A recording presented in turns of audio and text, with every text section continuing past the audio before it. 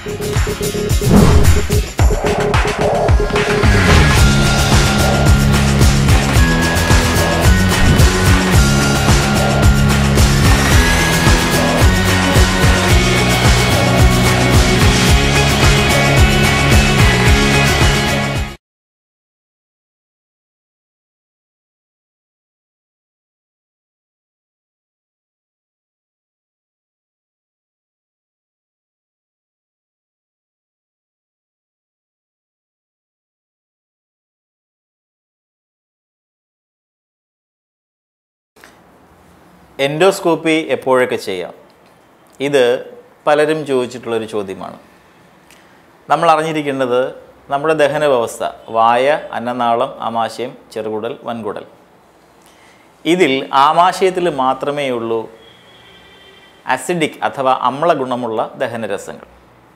വായ അന്നനാളം ചെറുകുടൽ വൻകുടൽ ഇത്രയും സ്ഥലങ്ങളിൽ കാണുന്നത് ക്ഷാരഗുണം അഥവാ ആൽക്കലൈൻ സ്വഭാവമുള്ള ദഹനരസങ്ങളാണ്. സാധാരണഗതിയിൽ ഭക്ഷണം കഴിച്ചു കഴിയുമ്പോൾ നമ്മളുടെ അന്നനാളവും ആമാശയവും കൂടി ചേരുന്ന സ്ഥലത്ത് ഒരു മാംസപേശി അതിനെ വൈദ്യഭാഷയിൽ സ്ഫിങ്ഡർ എന്ന് പറയും.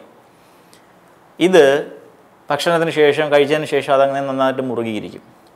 ഇനി ആമാശയം എന്ന് പറയുന്നത് ചുരുങ്ങുകയും വികസിക്കുകയും ചെയ്യുമ്പോൾ അല്ലെങ്കിൽ അതിനകത്ത് ദഹനം നടക്കുമ്പോൾ ഭക്ഷണ പദാർത്ഥങ്ങളും ആമാശയത്തിലെ അമ്ലഗുണവും അല്ലെങ്കിൽ അതിനകത്തുള്ള വളരെ ശക്തിമത്തായ ആസിഡും തെറിച്ച് മുകളിലേക്ക് വരാതിരിക്കാൻ ഈ സ്ഫിങ്ഡർ നമ്മളെ സഹായിക്കും. എന്നാൽ ചില ആൾക്കാരിൽ ഈ സ്ഫിങ്ഡർ അഥവാ ഈ മാംസപേശി ഒന്ന് അയഞ്ഞിരിക്കും. അല്ലെങ്കിൽ ആമാശയത്തിന്റെ ഒരു ചെറിയ ഭാഗം ശ്വാസകോശത്തിനിടയിലേക്ക് കയറിയിരിക്കും. ഹയാറ്റസ് ഹെർണിയ എന്ന് പറയും. ഇത്തരം ആൾക്കാരിൽ പുളിച്ചു തകിട്ടൽ നെഞ്ചിരിച്ചിൽ വളരെ കൂടുതലായിരിക്കും. അല്ലെങ്കിൽ അവർക്ക് അത്തരമൊരു ബുദ്ധിമുട്ട് ഇടയ്ക്കിടയ്ക്ക് അനുഭവപ്പെടും. ആമാശയത്തിൽ കാണുന്ന ആസിഡ് അത് മുകളിലോട്ട് കയറി വരുമ്പോൾ അന്നനാളത്തിലേക്ക് വരുമ്പോൾ അന്നനാളത്തിലെ കോശങ്ങൾക്ക് ഈ ആസിഡിനെ ചെറുക്കുവാനുള്ള ശേഷിയില്ല. കാലക്രമേണ അന്നനാളത്തിലെ കോശങ്ങളുടെ രൂപം മാറും ഭാവം മാറും. ഒടുവിൽ അത് അന്നനാളത്തിൽ അർബുദമായി മാറും.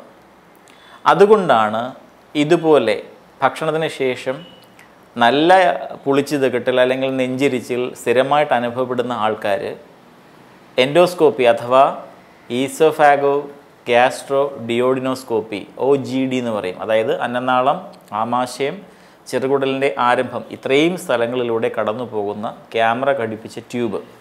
അത് ഇട്ട് കഴിയുമ്പോൾ നമുക്ക് കാണാം നമ്മുടെ അന്നനാളത്തിന്റെയും ആമാശയത്തിന്റെയും ചെറുകുടലിന്റെ ആരംഭത്തിലെ അവസ്ഥ എങ്ങനെയാണ്. ഒരുപാട് ആസിഡ് വീണ് അകഭാഗം പൊള്ളിയിരിക്കുകയോ അല്ലെങ്കിൽ അവിടെ വ്രണങ്ങൾ അൾസറുകൾ ഉണ്ടാവുകയോ ചെയ്തിട്ടുണ്ടെങ്കിൽ അത്തരം ആൾക്കാർ അതൊരു സവിശേഷ ശ്രദ്ധ ആകർഷിക്കുന്ന ഒന്നാണ്. അതിനെ തുടക്കത്തിലെ തന്നെ നമ്മൾ മരുന്ന് മറ്റു കാര്യങ്ങൾ ഉപയോഗിച്ച് നിയന്ത്രിക്കുന്നില്ല എങ്കിൽ ഏറെ വർഷങ്ങൾ കൊണ്ട് ഇത് വശപ്പശക്കായിട്ടുള്ള അസുഖങ്ങളിലേക്ക് മാറാം.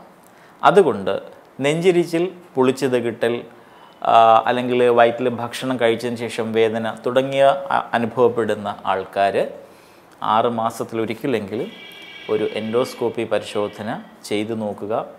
അവർക്ക് ഈ പറഞ്ഞ രീതിയിൽ ഗ്യാസ്ട്രിക് ഇറോഷൻസ് ഗ്യാസ്ട്രൈറ്റിസ് എന്നൊക്കെ മെഡിക്കൽ ഭാഷയിൽ പറയാവുന്ന പദങ്ങൾ. അതിന്റെ അർത്ഥം എന്ന് പറഞ്ഞാൽ ഇത്രയേ ഉള്ളൂ. അമിതമായിട്ട് ആസിഡ് വീണിട്ട് ഉൾഭാഗം പൊള്ളിയിരിക്കുന്നത് പോലെയോ അല്ലെങ്കിൽ വ്രണങ്ങൾ ഉണ്ടായിരിക്കുന്നത് പോലെയുള്ള അവസ്ഥ അവിടെ ഉണ്ടോ ഇല്ലയോ എന്നുള്ളത് കണ്ടുപിടിക്കുവാൻ ഇത്തരം പരിശോധനകൾ സഹായിക്കും. അത് ഉള്ള ആൾക്കാർ ഈ പരിശോധന ചെയ്യുക. താങ്ക്